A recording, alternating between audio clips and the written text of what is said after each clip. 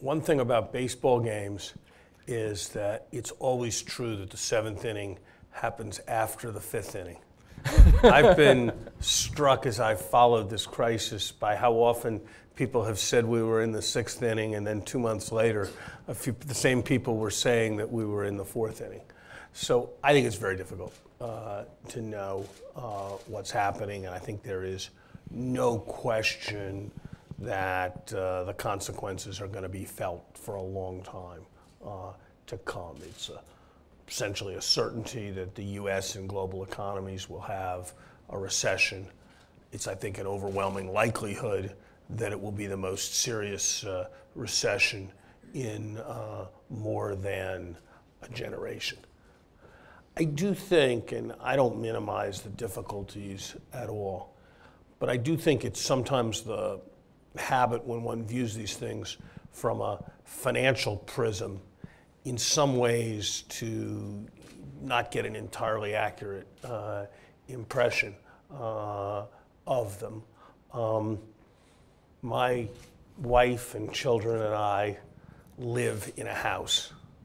We expect to live in that house for a long time to come. Um, we like that house. We are, in a sense, you can think of us as renting it uh, from ourselves uh, each uh, year. It is no doubt true that that house is worth less than it was worth three or four years, uh, three or four uh, years ago. And at the margin, that will affect our behavior in some way. But it's also important to remember that it's cheaper uh, the rent we pay ourselves is cheaper at the same times with that house.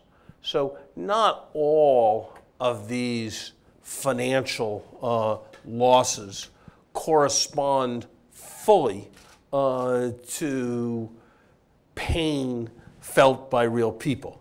At the same time, uh, and, and, this is why I think one can exaggerate the financial uh, prism on this, uh, there are roughly a million fewer people working in America today than were working a year ago.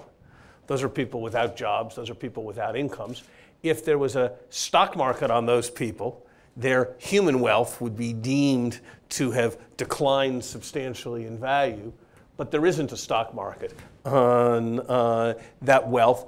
But from a social point of view, in terms of people's well being, I would argue that those lost, jo- those lost jobs, um, those lost opportunities to, to, develop skills, those people who are going to come out of high school and aren't going to be able to get jobs and going to do whatever you do when you, have the, when you don't have the alternative of getting jobs, those are actually probably rather more serious losses from the point of view of the society than the fact that the panelists here's houses have gone down uh, in value.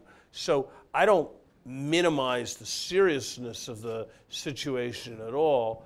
And I don't, and I agree with the diagnosis that it comes centrally from developments that have taken place in the financial sector.